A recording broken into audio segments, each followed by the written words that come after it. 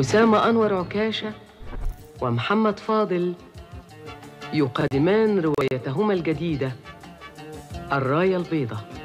ولا حمو التمساح يا لا التلفزيون أول ما ابتدى عمل حاجة اسمها ميثاق شرف. حدد إيه الأسس اللي لازم البرامج والدراما وكل ما يقدمه التلفزيون يمشي على هذه الأسس. عشان كده كان له دور رئيسي جدا في تطوير المجتمع في ذلك الوقت.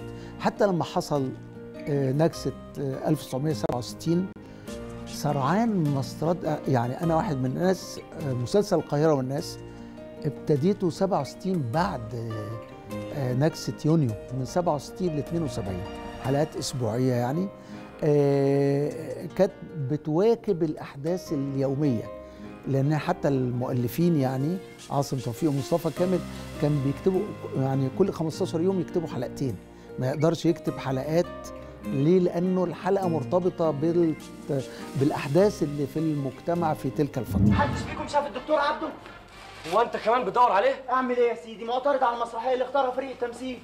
مسرحية إيه؟ عفاريت مصر الجديدة. ودي فيها إيه؟ دي معترض على إيه؟ هو ساكن في مصر الجديدة؟ اهو كل سنة لازم كده. المسرحية اللي نختارها ما يرضاش بيها. مجرد اعتراض مش هو المسؤول؟ لا ما هو التحكم ما يوصلش للدرجة دي. الظاهر أنا كمان هدور عليه معاكم. بعد كده في طبعا آه، بابا عبده أو أبناء الأعزاء شكرا من المسلسلات اللي خدت آه، آه، يعني رد فعل كويس مع الناس لأنها بتعالج قضية مهمة جدا.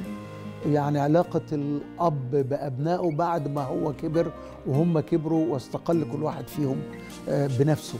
هذه العلاقة علاقة موجودة في كل البيوت المصرية. بناتي العزيزات أبنائي الأعزاء شكرا.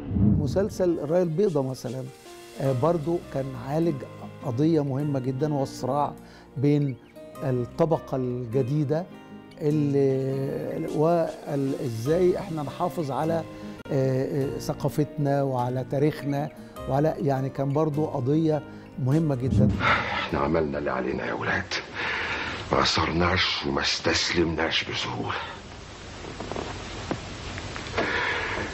وما رفعناش الراية البيضاء إلا مرغمين لا الحكاية لسه ما خلصتش. والراية لسه ما اترفعتش.